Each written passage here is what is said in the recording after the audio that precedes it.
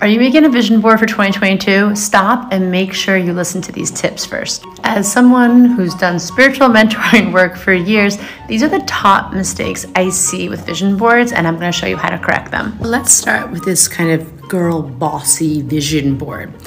First of all, there's not a lot of focus here. What is the goal? What are we trying to accomplish? Okay, that's one. Two, we need to work with action steps. We need to work with um, how you're going to accomplish any of this. Your brain sees all this and it's just like, what the hell? There's also no understanding of when, how we're going to accomplish any of this. I don't even know what this is, to be honest.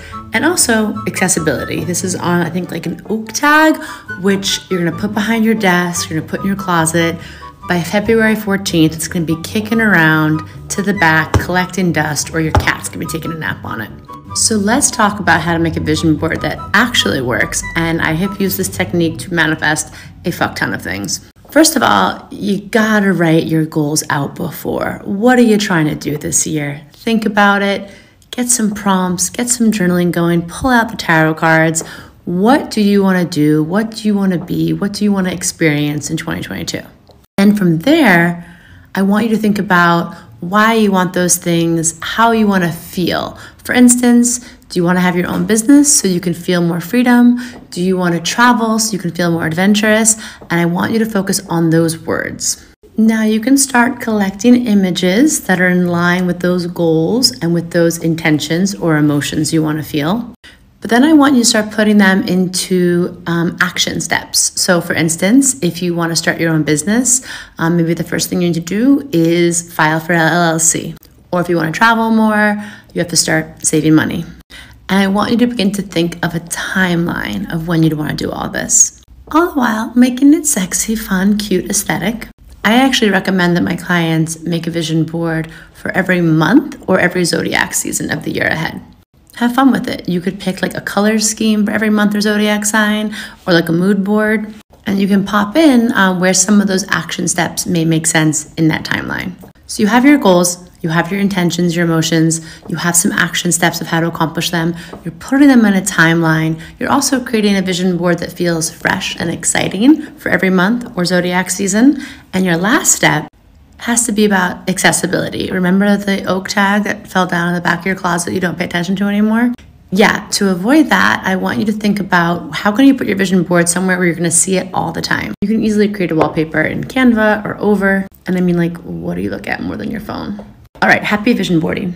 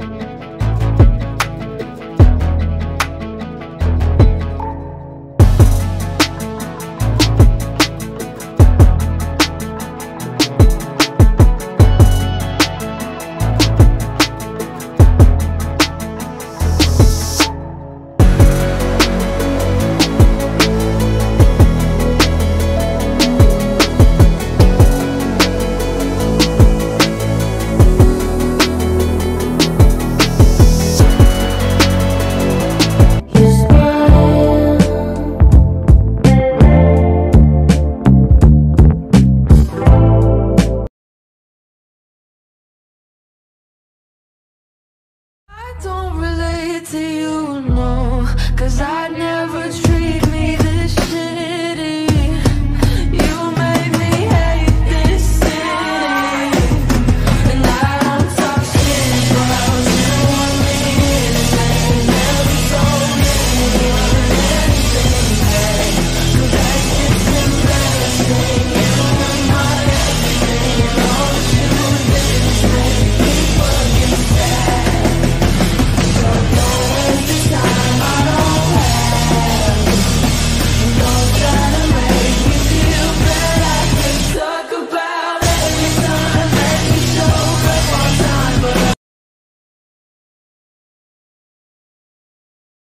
Here's how you make an epic high vibrational vision board for 2022. First, go out and grab some magazines from a store or you can use them at home.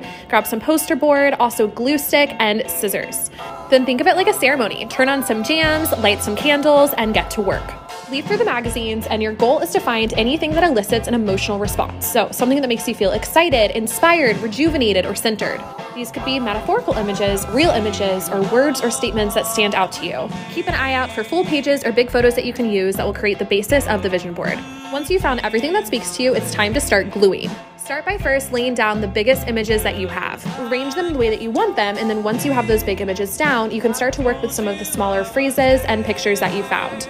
And then just continue to layer them on. Play with the pieces, see what you can make work where, and then voila, you have a beautiful vision board that represents the energy that you most want to feel in 2022. You're a bad thing.